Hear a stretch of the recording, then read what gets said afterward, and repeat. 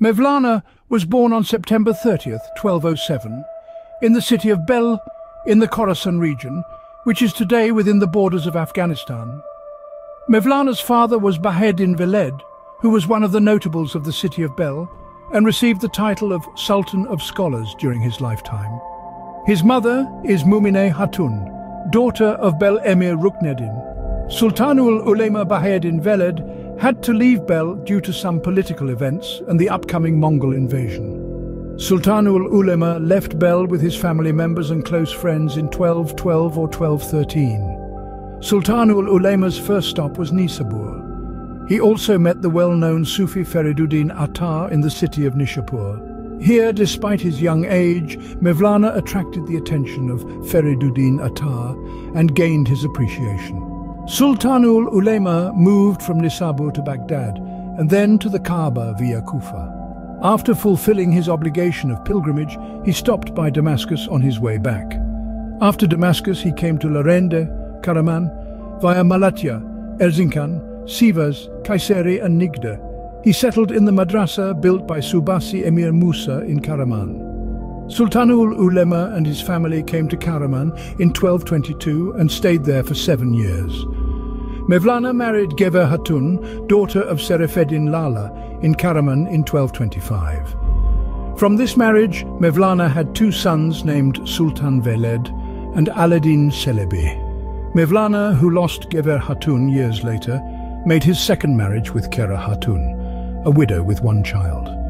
From this marriage, Mevlana had two sons named Muzaffareddin and Emir Alim Celebi, and a daughter named Melike Hatun. During these years, most of Anatolia was under the rule of the Seljuk state.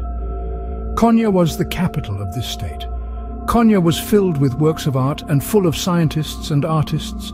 In short, the Seljuk state was in its heyday, and the ruler of the state was Alaeddin Keykubad. Alaeddin Keykubad invited Sultanul Ulema Bahayedin Veled from Karaman to Konya and asked him to settle in Konya. Bahayedin Veled accepted the Sultan's invitation and came to Konya with his family and friends on May 3, 1228. Sultan Alaeddin allocated Altunapa Iplikchi Madrasa as his residence. Sultanul Ulema passed away in Konya on January 12, 1231.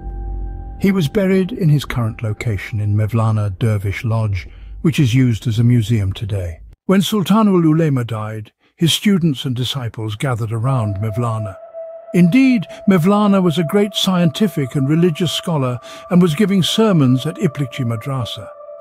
The madrasa was overflowing with people who came to listen to him.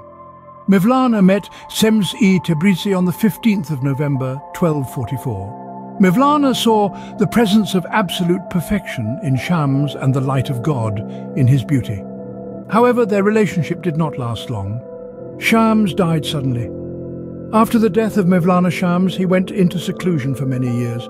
Mevlana, who summarized his life with the words, I was raw, I was cooked, I was burned, passed away on Sunday, December 17, 1273.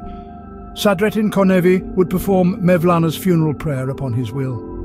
However, Sadreddin Konevi could not bear losing his beloved Mevlana and fainted at the funeral. Mevlana believed the day of death was a rebirth day.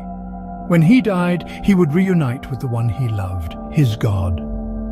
That's why Mevlana called the day of death Seb-i Arus, which means wedding day or bridal night, and he advised his friends not to cry after his death.